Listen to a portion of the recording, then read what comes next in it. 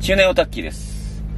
え、ちょっとね、今日周りにうるさい車が多いんで、ノイズが入ってしまうかもしれませんが、ちょっと撮影環境これ以上変えようがないんでね、今周りにトラックが囲まれちゃってても動けなくなってるんですが、もうちょっとでね、えー、深夜割引の時間なんで、えー、一斉に動き出すとは思うんですけどね。はい。で、今日はね、えー、このカメラを紹介していこうと思います。はい。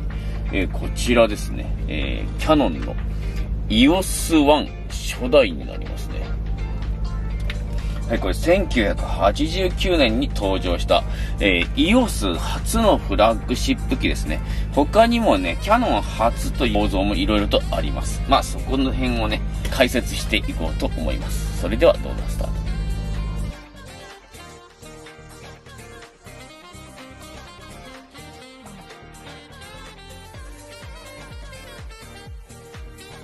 はい、えー、今回紹介するこの EOS1 ですね。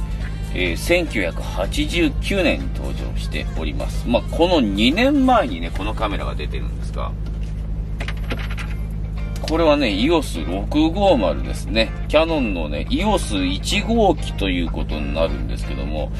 えー、キャノンはね、AF カメラとして1985年かなえー、T80 っていうカメラを出すんですけどもね、えー、ミノルタが α7000 を発売したのとほぼ同時期に発売したのですが、オートフォーカスの能力が全く勝てずに古典版にやられて、えー、最近ではそのキャノンの歴史からも消されてると、ラインアップから消えてるぐらいね、もうキャノンの汚点みたいな感じになってるんですけども、えー、それでね、リベンジということでね、えー、この EOS650 を発売するんですね。とにかくね、えー、この当時のカメラとしては、え非常にね、オートフォーカスが優秀ですしね、えボディもね、デザインもいいということで、ルイジ・コラーニさんがデザインしたのかな？うん、このカメラそうなのかな？えちょっとその辺はわかんないんですけども、えー、洗練されたね、現代に通じるもそのまま通用するデザインで出してるんですね。え右肩部に液晶、電子ダイヤルですね。えモード選択ボタン。えー、もうこんな感じでね、もう本当にね、えー、現代のカメラ。まあ、あの、その前にね、えー、キャノンは T90 っていうのを出して、まあ、この、これも類似こだわりデザインですけど、え、ほぼ現代のね、カメラに近づいたというね、え、モデルを出しておりますが、まあ、これでね、えー、その後630とか620とかね、EOS はどんどんまあ、もうラインナップ750とかも出してますけど、えー、初心者から中級モデル、えー、を主にね、出していってるんですが、えー、そのね、えー、極めつけということで89年に出たのがこの EOS1 です。えー、本当ね、オリンピックイヤーが88年なんで、常識的に考えると88年に出すべきものなんですけど、実際にニコン F4 は88年に出てるんですけどもね、えー、これはね、1年遅らせてまでね、えー、熟成を重ねて、えー、出したという感じになっていくと思います。でね、ファインダー倍率が、えー、0.72倍ということで、えー、キャノン NewF1 はね、0.8倍だったんですけども、マニュアルフォーカスを考えずに済むオートフォーカス機ということで、ちょっとだけ倍率が下がってます。ただ、ファインダー視野率はほぼ100%ということでね、キャノンで、おそらくキャノンの一眼レフカメラで初めて100%を達成したカメラになるんじゃないかと思いますね。で、僕が持ってるこのね、EOS1 は HS 仕様ということで、このね、パワードライブブースターってやつがついてます。ちょっと外してみましょうか。よいしょ。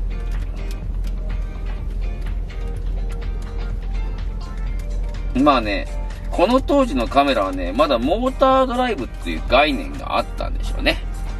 はい、分離できます。これね、ボディ単体とこのパワードライブブースターがついた状態では、ワインダーのスピードが違うんですね。秒間3コマぐらいになってしまうのかなパワードライブブースターなしでは。で、えー、秒間5コマ、えー、の撮影が可能になるのがこのパワードライブブースターです。よいしょ。HS はハイスピードですね。EOS1 ハイスピードということで HS です。まあ、ただ、あの、他の能力は特に変わりません。えー、ニュー F1 はね、ワインダーを追加したら AE が追加されるとか、まあ、いろいろあったんですが、えー、これを順に、えー、電池が炭酸電池で使用可能になるのと、縦位置グリップがつくのと、あと、モータードライブの速度が上がるというね、撮影枚数の速度が上がるということですね。それはね、基本的にはね、えー、EOS650 と同じですが、ここのボタンが1個増えました。えー、これね、EOS650 はね、えー、モードと EXP コンプっていうボタン2つなんですが、えー、EOS はね、モード AF、えー、で、メソ、メス、メータリングか、メータリング、えー、でね、これ同時押しでね、えー、いろんなことができるというね、これ実はね、えー、現代の EOS1 にも、えー、共通しています。ほぼ共通。ちょっとだけね、変わってますけど、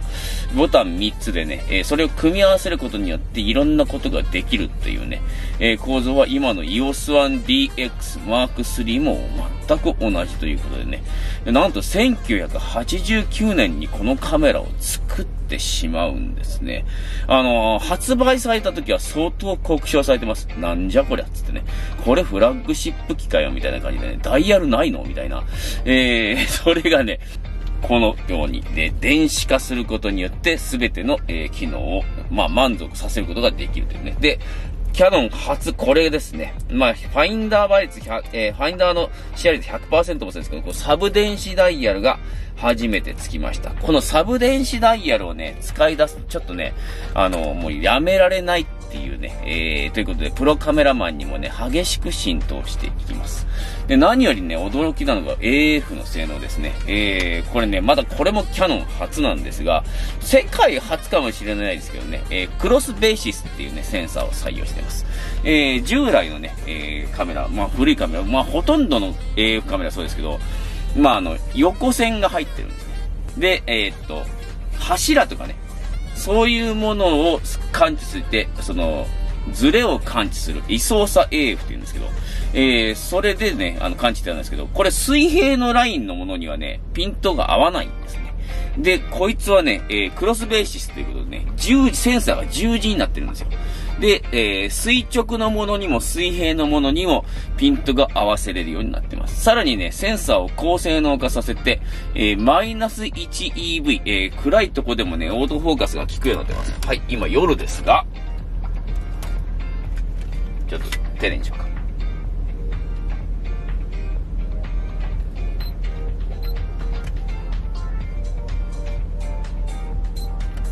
こんな暗い状況でもね、比較的ピントがいいやつですね。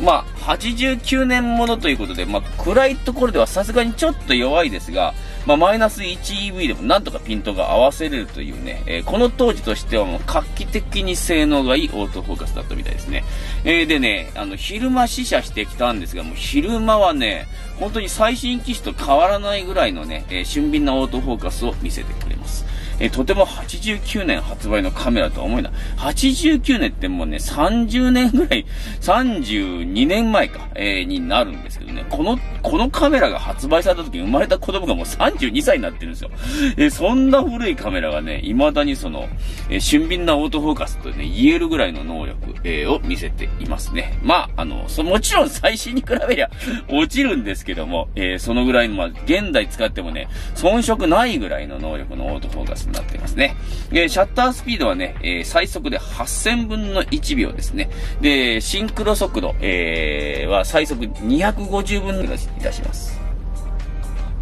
ちょっとマニュアルフォーカスにしようかよ。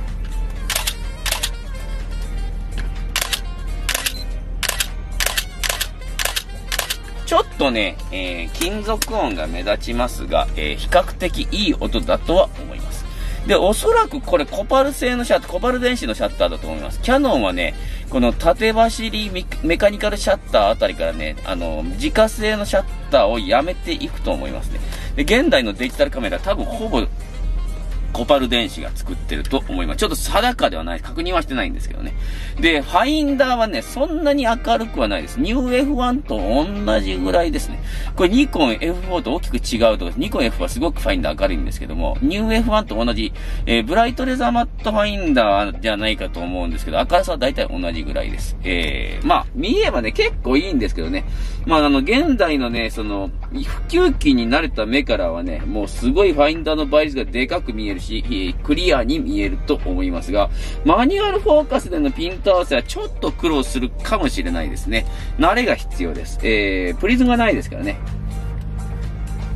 うん。プリズムがないんで、僕はできますけどね、僕はいつもプリズムじゃないとこで合わせるパターンの人なんでね、普通に合わせれますけどね。重たいです。結構重量重たいですね。重量確認してないですが、まあ、電池の重量もあるんで、1キロはね、はるかに超えていくと思います。えー、でね、今回はね、このレンズを装着して撮ってきたんですが、これはね、EF28105、F3.5 から 4.5USM、初代ですね。初代と2型とあるんですが、えー、初代と2型はね、えー、特に変わりはないです。塗装が違うぐらいでね、2型の方が若干高級感がある塗装ということで、光学とか構造はね、ほとんど変わってない。つまり写りは同じということでね、これね、EOS5 とかね、EOS55 の時のね、巻き絵レンズ的存在だったったんですね。まあ、5万円ぐらいのね、定価のレンズなんですけども、えー、大変よく売れたということで、現在ね、ジャンクボックスとかでゴロゴロしてて安いんですよ。フォックでも2、3000円で手に入るレンズなんじゃないかな。えー、というわけでね、このカメラ、えー、5500円即決、えー、で、レンズがね、3000円ぐらいということで、まあ、8000円、9000円でね、このセット買えちゃうんですね。えー、比較的ね、リーズナブルにね、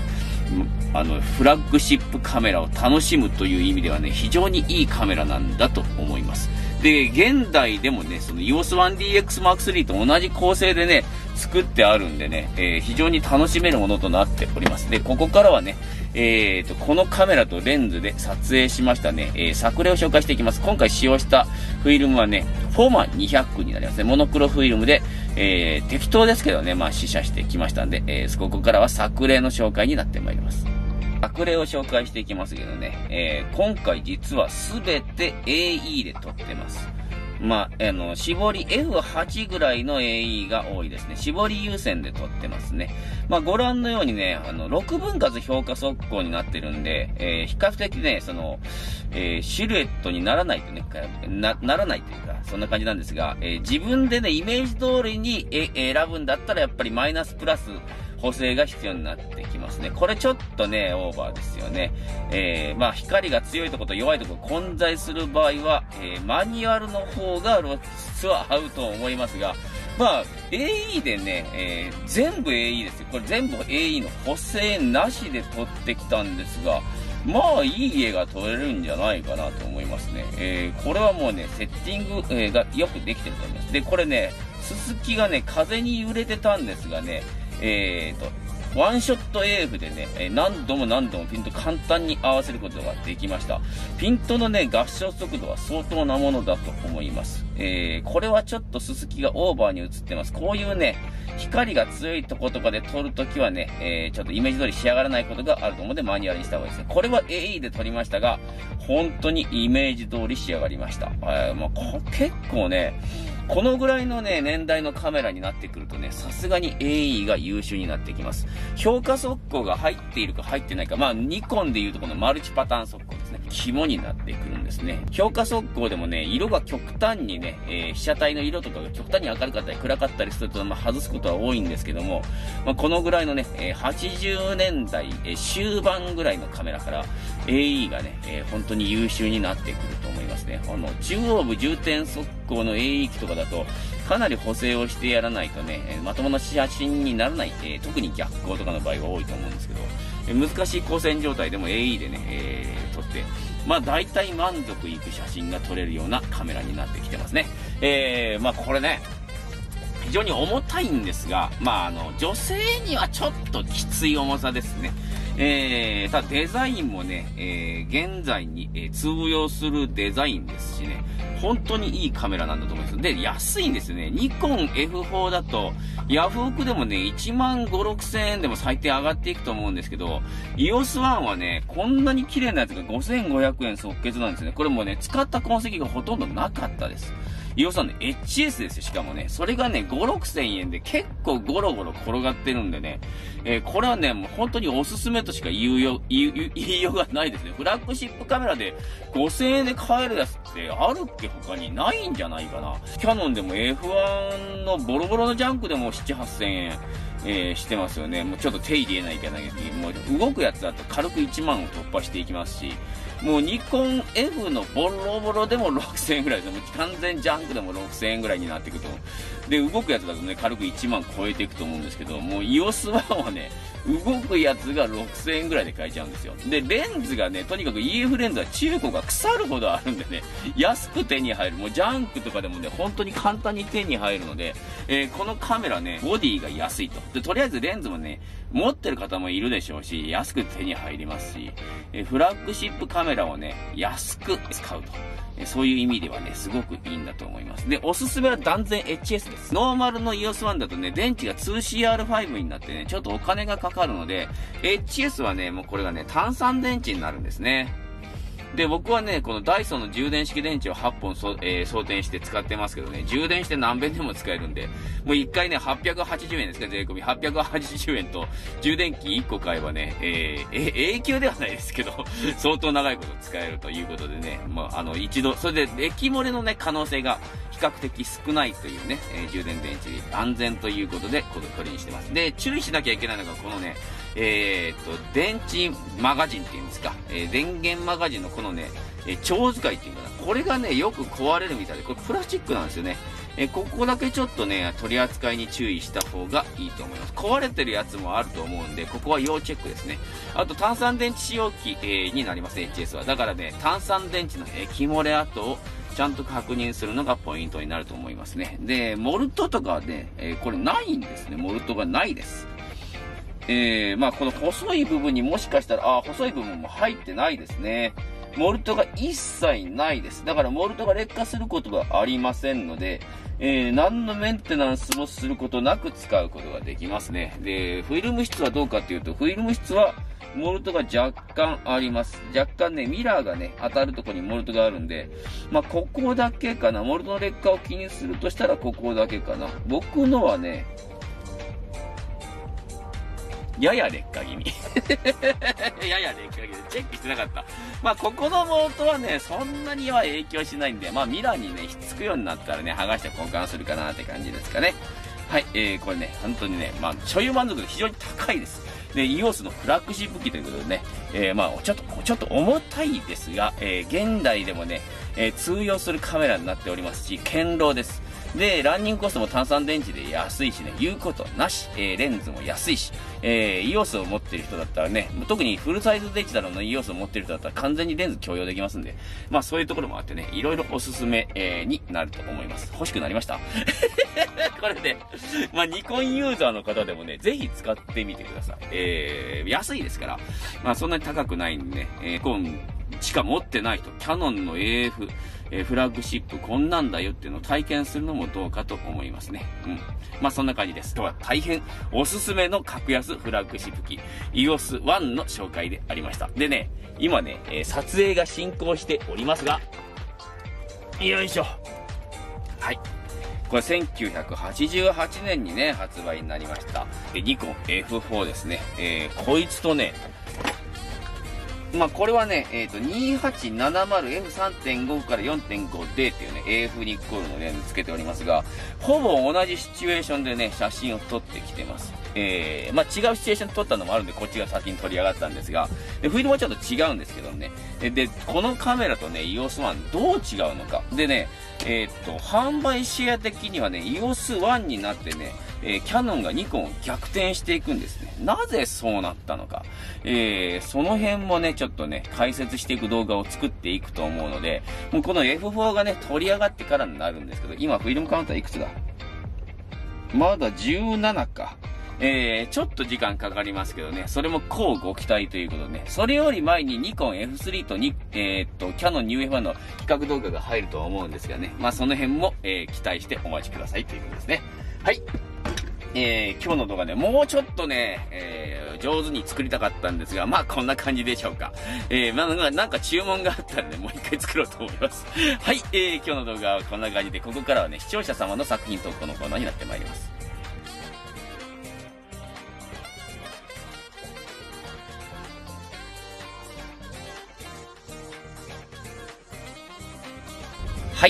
作品投稿のコーナー。今日トップバッターはギブソンさんですね。えー、中年おたきさんお疲れ様です。今回は組写真で3枚投稿させていただきます。タイトルは穏やかな海岸です。カメラペンタックス LX、レンズはペンタックス FA43mm F1.9 リミテッド、フィルムはコダックカラープラス200です。9月中旬にカメラ2台ぶら下げて地元の海岸で撮影してきました。平日の昼間からカメラ2台ぶら下げた成人男性はさぞかし怪しかったと思いますが、コロナということもあり、平日の昼間だったので、ほぼ人はいなく天気も良かったので、ゆっくり撮影できました。よろしくお願いしますということですけどね。え写真なんですけどもね、全体的にね、ちょっとと、ややオーバー、オーバー気味ですね。うん、結構オーバーなんだと思います。特に2枚目ですね。えー、かなりオーバーに映っておりますが、2枚目の場合はそれがいい印象で映っておりますね。これもうちょっとトリミングして、えー、被写体をでかくしてもよかったと思いますが、えー、っと、空と地面が50-50になってね、非常に印象的な写真になってます。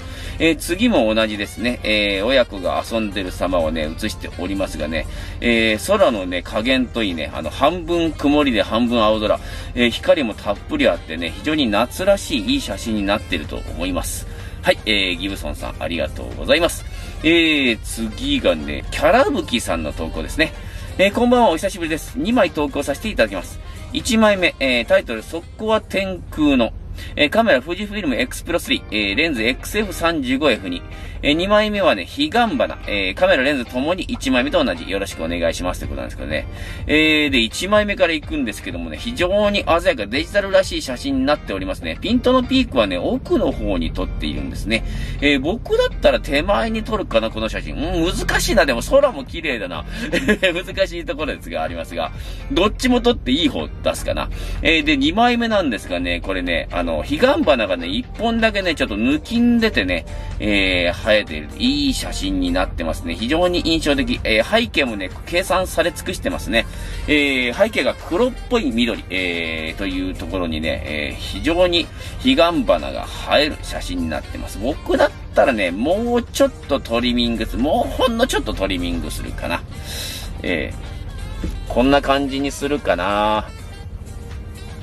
うん。僕だったらそうしますかね。まあ、ここは個人の好みっていうことで、僕は結構ね、クローズアップした写真が好きなんでね。えー、キャラウキさんありがとうございます。今ね、侍ジャパンさんから2枚ですね。えー、お疲れ様です。ワクチン2回目は若干熱出ました。たし大したこともなく終了しました。片頭痛の方がひどかった。片頭痛、片頭痛は関係ないでしょ。えー、もう秋ですが、夏の植物園での写真投稿します。タイトルは夏のダリア。えー、富士カ ST801、レンズ SMC タクマ 50mmF1.4。2枚目はオリンパス 35RC で撮影。フィルムローライレトロ80。えー、タイトルはバランス。焼けた石がすげえ熱かったです。ということなんですね。えー、で、1枚目なんですけどもね、これね、えー、タクマの映りということで、やはり背景僕は非常にソフト。えー、ピークも綺麗に来てますね。これ発色もいいな。なかなかいい感じに映っていると思いますね。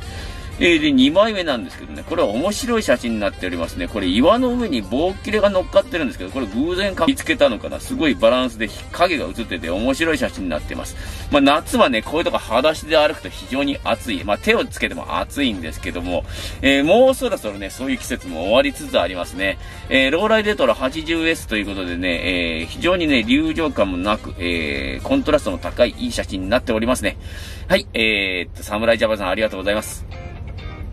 次は山拓さんの作品です。えー、中年オタッキーさんお疲れ様です。山拓です。10月に入りましたが、まだまだ暑い日が続きます。紅葉なんてまだまだ先の話ですかね。ってことで1枚投稿します。タイトル、色付きのもみじでいてくれよということですね。えー、カメラペンタックス MX、レンズペンタックス M50mmF1.7、フィルムコダックカラープラス200。えー、ところで私のフィルムカメラ好きの知人、かっこ女性がオタッキさんのファンになってくれました。最近投稿される女性の方って言いますかね、えー、投稿プッシュしときますということです。一応ね、女性の方も投稿されてる方、おられます。えー、複数おられますが、えー、女性らしいね、えー、投稿がね、あの、見られるのでね、ぜひぜひ投投稿してくださいね。もう女性と男性やっぱちょっと視点が違うんでね。えー、で、作品なんですがね、これが素晴らしい写りなんですな。このね、先っぽだけね、色づいてるもみじ、えー、構図も非常に計算されていいと思いますが、僕だったらね、もうちょっとトリミングしますね。僕だったらね、もう本当にね、屋根はほとんど消してしまいたいぐらい。これ、合うかな？はい。こんな感じにしたいかなでもね、この写真非常にいいです。えー、というわけでタイトル画面にしていきます。季節柄ということで。ちょっとタイトル画面ね、週替わりでか、週替えちは毎回変わってる状況になっておりますが、いい写真がどんどん来てるので仕方がないですね。はい、山崎さん、ありがとうございます。次が、えー、っと、ファーストインパクトペプさんの投稿ですね。えー、いつも楽しく投稿させていただいております。ファーストインパクトペプです。あ、視聴させていただいております。じゃあ、えー、先日やったのコーナーで紹介していただいた、アンスクシャーショット、えー、シュールショットだ。えー、の作品を投稿いたします。えー、フィルムはご提案いただいた ISO800 のシネスティール。撮影場所は秋葉原にある3331アーツ千代田という廃校になった中学校を改修して、改修した文化芸術施設です。えー、6x9 のデジタルデューブ環境がないので適当な大きさでトリミングしています。同時にプリントもしましたが、プリントの方はもう少しくすんだ感じになりました。70年以上前の簡単な構造のカメラにしては、そこそこの写りかなと思いました。やったに投稿当時の写真も添付いたします。ということでね、作品なんですがね、これね、本当に、ほとんどね、簡易暗木に近いね、カメラになると思います。それにしては結構素直な写りですね。まあ、シネスティル800ということでね、ちょっと得意な発色をするフィルムなんですけどね、この発色が出ているのが2枚目です。これ非常にね、印象的な写真になってますね。このシネスティル800ね、人工光でのね、えー、光非常にいい感じで映りますね。これなかなか好きになりました。えー、粒子は結構出ておりますが、それが、それがまたいい味を出してますね。これちょっと時点で、今回の時点と考えております。はい、えー、っと、ファーストインパクトペプさん投稿ありがとうございます。はい、今日のね、作品投稿のコーナーここまで、こ俺のカメラのコーナーになってます。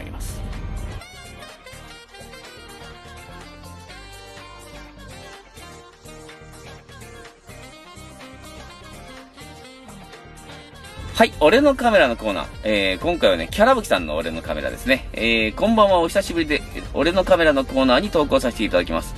カメラはペンタコン6です。見た目の良さといい、レンズの性能といい、本当に良いカメラなんですが、巻き上げレバーがいきなり固まったり、シャッター幕が閉じない時があったりとなかなかの癖者で、ごまかしながら使っています。先日ストラップを取り付ける金具、かっこケースではなくボディ本体にあります。が、いきなりむしり取り、危うく落としかけました。怖っ。えこんなカメラですが、なかなか憎めないやつで、これからも使っていきたいですということですね。えー、このカメラなんですけどもね、えー、ペンタゴン6って、これドイツのカメラなんですね、確か。えー、でね、ツアイスのレンズがつくんですけどもね、とにかく壊れやすいらしいですね。僕もね、触ったことあるんですけど、壊れてました。えー、シャッター切れないってやつですね。レンズだけね、その時は買ってきたんですけど、これはね、えー、ビオメーターですね。ビオメーター、カルツアイスイヤなんで、ビオメーターがついておりますね。非常にいい写りをするんであると思います。えー、もしね、作品撮れたらね、投稿のコーナーの方にね、投稿していただけると思います。えー、結構でもね、このカメラ使うっていうのはつわものですね。えー、ごまかしながら使うっていうね、え、のが本当にね、ぴったりのカメラなのかもしれません。はい、えー、キャラブキさん投稿ありがとうございます。え、ここからはね、やったやっちまったのコーナーになってまいります。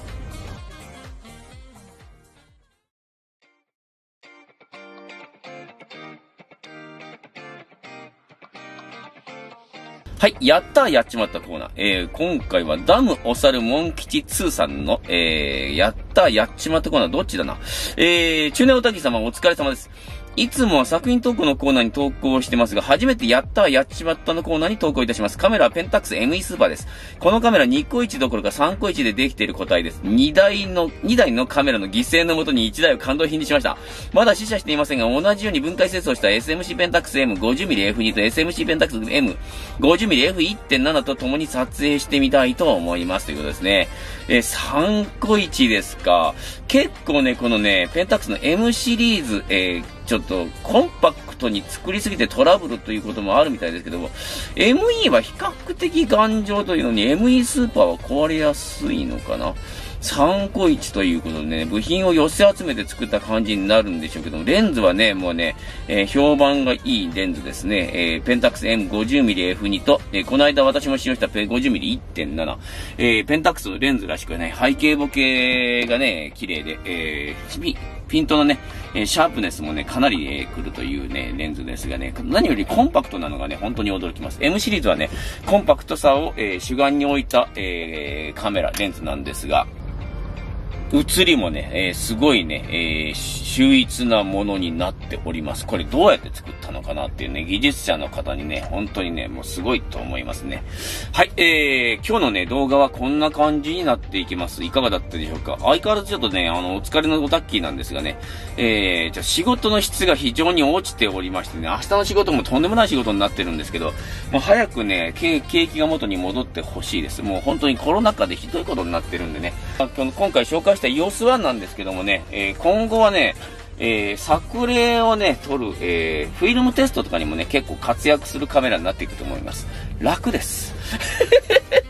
やっぱね、えー、非常にね、えっと、イメージ通りの写真撮れやすいと思います。これ AE でもね、十分撮れやすいと思います。えー、どうしてもね、その、体感露出で撮ってると、その、5枚に1枚ぐらいはね、外すことは外すんですね。あ、イメージ通りじゃなかったなっていう。で、このカメラはね、完璧にイメージ通りに合致することもまあ少ないですが、大外れも少ないんですね。まあさすがはね、AE 機ということでね、AE でね、適当に撮ってもこんな写真撮れるんだったら簡単だなって思っちゃいますね。はい、えー、そんなわけでね、今後ね、えー、ぼちぼち出てくると思います。EOS1N はね、主にね、カラーフィルムのね、試写をしておりますんで、で、こいつはモノクロフィルムのテストにね、回すことが多くなると思います。はい、えー、今回の動画いかがだったでしょうか？ここのコーナーね、えー、っと、俺のカメラのコーナーがもうほとんど終わっていってるのかな？またね、投稿の方よろしくお願いします。作品投稿もちょっと薄くなっております。やったやっちまったのコーナー結構ね、待ってるんですがね、えー、ちょっとお待ちくださいっていうことになってますね。はい、チャンネル登録の方ね、ちょっと先日ガガンと減った後、またちょっとじりじり増えていっておりますが、月80名ペースぐらいにちょっと落ちておりますね。えーと、先日も言いましたけどね、キャノン A1 ね、どこだ？よいしょ。5000名、チャンネル登録5000名に到達するとね、このキャノン A1 をプレゼントいたします。えー、視聴者プレゼント1名ということですが、えー、まあ、レンズはね、3570のレンズちょっと付け替えてプレゼントすることになると思うんですけど、キャノン A13 台持ってるんでね、1台ぐらいプレゼントしていいかなと思ってね、まあ、あの、ちょっと露出系狂っておりますが、まあ、A1 は A1 ということ、えー、プレゼントしていこうと思いますんで、チャンネル登録ね、えー、まだ、まだの方はぜひぜひお願いします。で、高評価の方はね、もうポチッと押すだけなんで、えー、今すぐポチッと押していただけたらと思います。でね、コメントの方ね、本当にめちゃめちゃに遅れていって、2週間ずっと遅れ続けていますが、えー、こんなかん、こんな感じでね、仕事が悪いんでね、えー、コメントする暇が本当にないんで、コメント返信する暇がないんですけど、まあ、頑張って全部返していこうと思いますんで、えー、コメントの方ね、どしどし書いてくださいね。よろしくお願いします。はい、えー、今日の動画はこんな感じ。また次の動画でお会いいたしましょう。それでは皆様ごきげんよう。さようなら。